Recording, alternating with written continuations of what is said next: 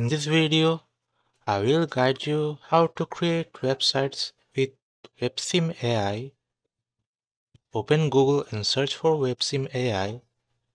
Once on the WebSim AI, log into your account. Logging in allows you to access the full functionality of WebSim AI. In the search bar, type a prompt describing the type of website or web page you want to create. For example, I want to create a page for selling a smartphone. Then press enter and WebSim AI will begin working on your request.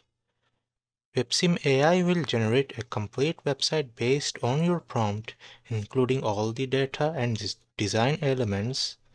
You can view interact with the website in real time. To download the generated website, click the three vertical dot, then download button. This will provide you with the HTML and CSS code for the entire site. Open the downloaded code in your code editor to customize it further. You can view the HTML and CSS code by clicking View Source too.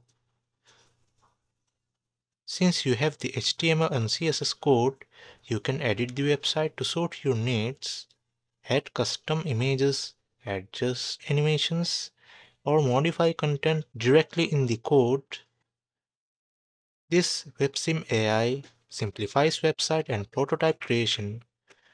Designers and developers can quickly generate ideas and layouts for their projects. It's efficient providing a functional starting point for any web design task. So that's how you can use WebSim AI to create websites effortlessly. If this video helps, like, share and subscribe.